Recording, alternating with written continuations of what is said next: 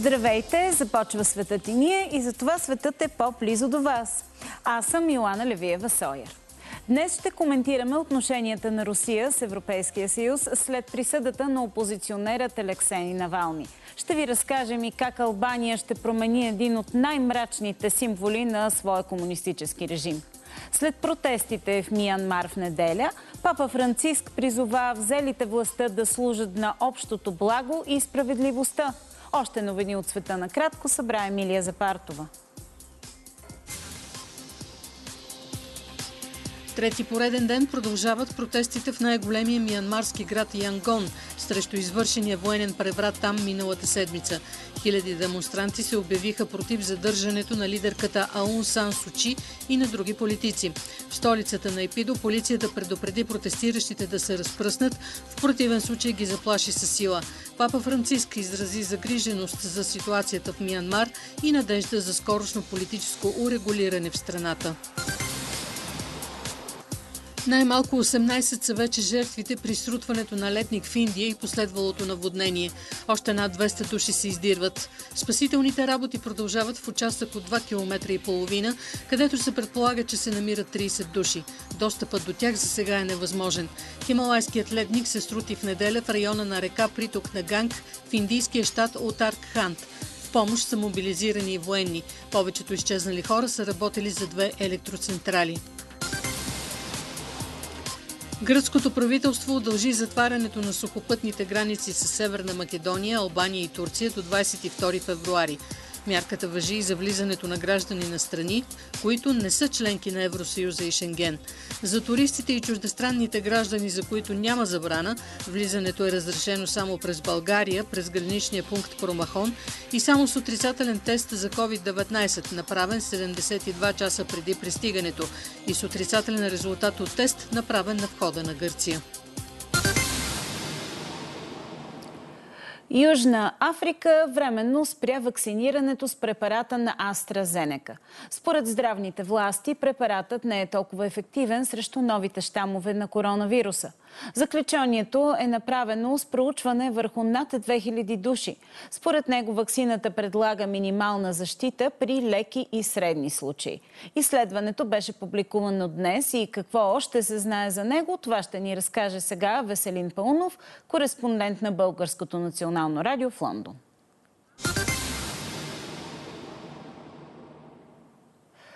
А, привет! Какви са подробностите, които са известни около това проучване? Добър ден от Лондон. Подробностите, може би пълните подробности все още не са известни. Само да припомня, че Financial Times вчера публикува първите извадки от това проучване, което всъщност е доста малко. Както и ти каза, то обхваща 2000 души на средна възраст около 31 година, което означава по-млади хора. Това, което е известно също е, както също каза, че става дума за по-малки и средно тежки заболявания от южноафриканския щам на коронавируса. Разбира се, новината доста разтревожи всички тук на острова, разбуни духовете, но и министрите се втурнаха днес в опит не може би толкова да защитат AstraZeneca, колкото да кажат, че на фона на тези предварителни данни все още не могат да се правят глобални заключения. Министър, заместник министърът на здравеопазването Едуард Аргар заяви тази сутрин, че са болни само 147 души от южноафриканския щам на коронавируса, което не е никак много според него, но пък други бяха на мнение, че проучването, което е направено за заразяванията, не е обхванало доста райони, в които може да има и повече заразявания. В крайна сметка Надим Захауи, министърът, който отговаря за масовото вакциниране в Великобритания, заяви, че може напълно да се вярва на британските вакцини и разбира се, при известни модификации за напред, вакцината на AstraZeneca ще бъде ефективна и срещу южноафриканския щам. Има ли някакви промени в плана за вакцинация? Все пак Великобритания използва тази вакцина главно? А, не съм чул за такава промяна. Нека да не забравяме, че масовото вакциниране е гордостта на британското правителство. Както знаем, то върви много добре. Над 12 милиона британци вече са получили първа доза вакцина.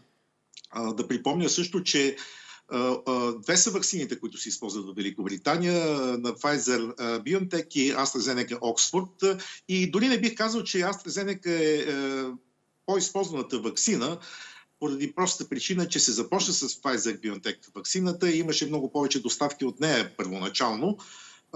Сега, отделен е въпрос точно как каква ще бъде наистина ефективността на AstraZeneca. Това е големия проблем в бъдеще. Да, а, щях да те попитам какво а, казват специалистите по въпроса във всички британски медии. Днес имаше редица публикации с цитати от учени. Да, медиите гърмят, разбира се, от такива цитати. Повечето учени продължават да са на мнение, че вакцината на AstraZeneca при известна модификация ще бъде ефективна. Не бързат да отписват AstraZeneca. Разбира се, има и други по-крайни мнения. Дори един учен заяви, че може би се наложи да се слагат три дози от вакцината на AstraZeneca, за да бъде ефективна. Това са много мнения и човек доста лесно може да се обърка, следейки всички тези информации по медиите за плюсовите и минусите на дадена вакцина.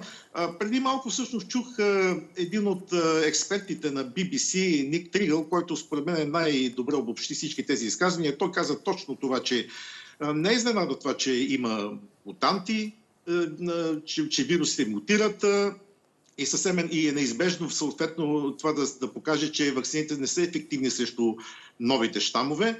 Но пък трябва да се гледа и по-оптимистично напред, а именно това, че все още има твърде малко сведения и доказателство за ефективността на вакцините. Всичко това предстоите първа да се донаглася и че надеждите, че вакцината ще помогне много за справяне с пандемията, продължават да са много големи.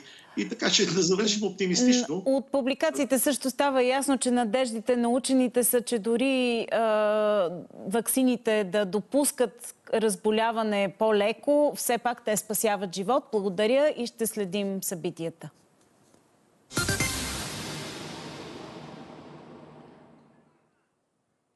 Русия отказва да води конструктивен диалог с Европейския съюз, възможни са и санкции. Това става ясно от изявленията на ръководителя на европейската дипломация с Жозеп Борел след завръщането му от Русия. Кремъл изрази удивление от оценките на Борел за посещението. Както знаете, той не получи възможност да се срещне с осъдения опозиционер Алексей Навални, а трима европейски дипломати горе-долу по същото време бяха изгонени от Русия заради участие в протестите, които подкрепят дисидента. Потърсихме за коментар Дмитрий Травин, анализатор и преподавател в Европейският университет в Сент-Петербург. Какво означават тези признаци? Дали ще се влушат отношенията между Русия и Запада? Смятам, че отношенията между Русия и Запада отдавно са зле поставени. Това, което виждаме сега, потвърждава тези лоши отношения. Положението в Русия ще е същата в бъдеще, защото режимът е запазен и не смятам, че някакво подобряване на отношението към Запада може да има място. Как смятате, защо Навални изобщо се върна в Русия? Знаеш със сигурност, че отново ще го вкарат в затвора. Трудно е да се отговори на този въпрос. Не съм сигурно, сигурен, че той го е знаел със сигурност. Може би е имал някаква друга информация, защото несъмнено Навални има някакви противници в руското ръководство, но има и поддръжници. Може би някой от поддръжниците му е решил, че той действа съвсем ефективно през последните 7 години.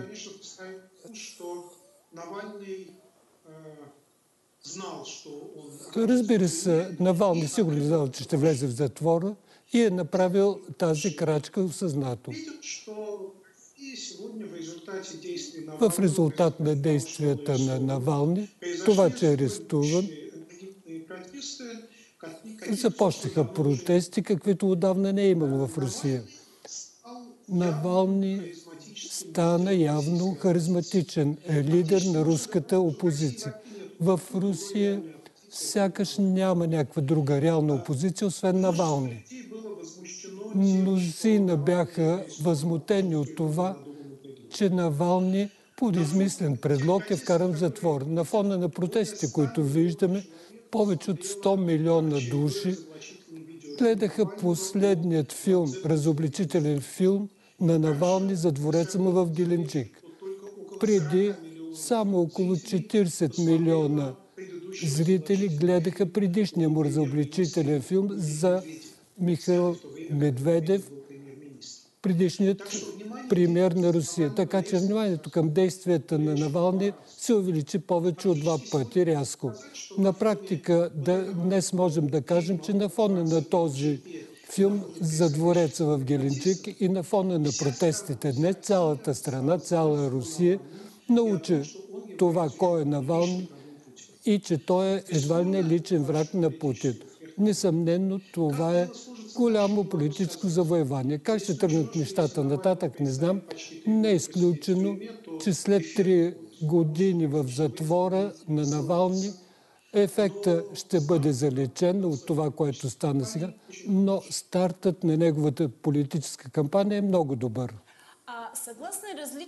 Според различни публикации, бедността в Русия в Русия през последните години се увеличава, а брутният вътрешен продукт намалява. Има ли някакъв, някаква връзка между протестите и проблемите в економиката?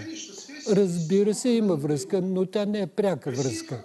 В Русия се намира на практика в състояние на економическа стагнация вече 11 години, дори 12. Кризата през 2008-2009 година, руската економика рухна рязко и до сега не се е възстановила наистина. Имаше през известни години известен ръст, известен спад имаше, но общо става въпрос, става въпрос за стагнация.